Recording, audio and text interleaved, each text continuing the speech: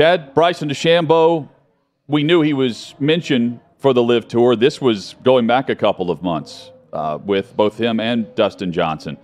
He's made it official, and the LIV Tour made it official on day number two of the the London series that teed off yesterday.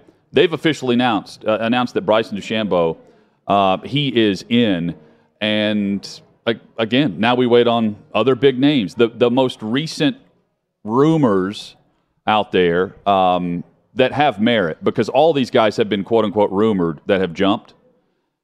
The next one, Rickie Fowler, Chad, who you mentioned earlier this week, and Bubba Watson also being mentioned for the LIV Tour. Yeah, it's uh, look, those are the names. I mean, uh, you, you, go down the list. We know who's been loyal so far. The PGA puts the memo out about loyalty. Jordan Spieth, Tiger Woods. We know some of the bigger names in golf that remain loyal to the PGA Tour, but Bryson DeChambeau is a big name. So that was reported earlier this week. Now it's confirmed by the LIV Tour, who made that announcement. Uh, Rickie Fowler, the other one you mentioned, Hutton. Now, to me, it's all a game of what do those 48 look like? We talked about going after the top 100. Well, if you get 20 names that we all immediately recognize in golf, and they're already at probably six or seven.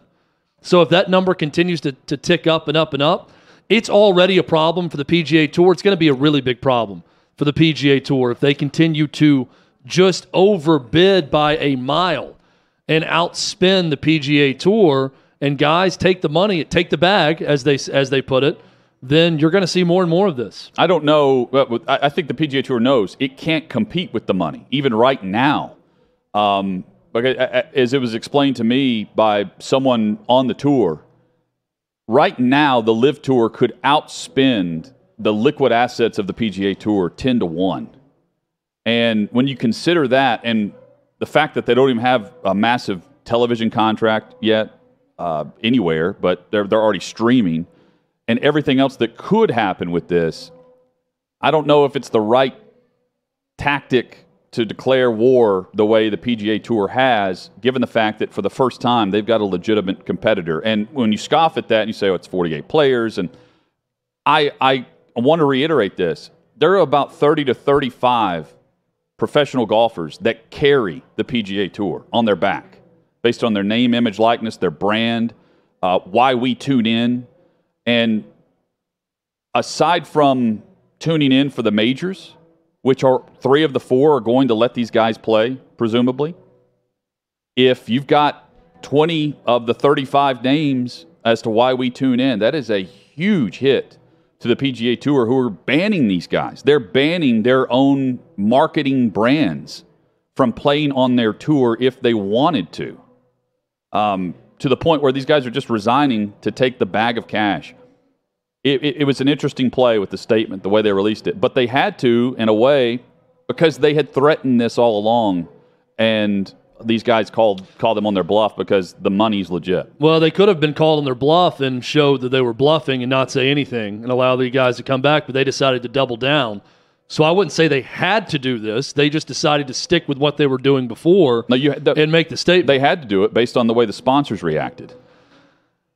I mean, yeah, I, and, I, I, I, guess. And, and it has been put out there that the PGA called in major favors to in, to make sure that a TV network did not link up with them. Yeah. So if you've done that in the background, that's where they're being helped. But if yes, if you've done that, then you can't a month and a half later when this thing's about to tee off say, you know what, go ahead.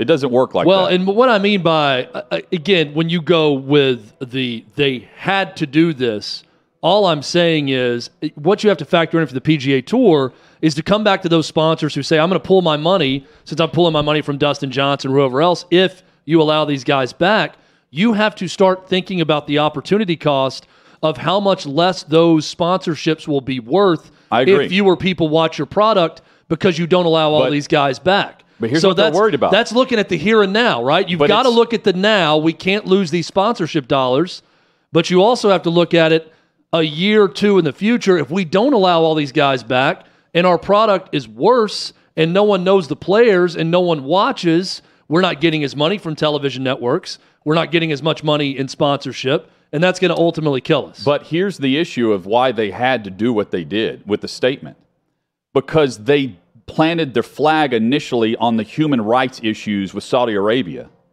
and scoffed at the statement that Phil Mickelson put out there, where he acknowledged all of it, but said he was taking the money anyway to establish something against the PGA Tour.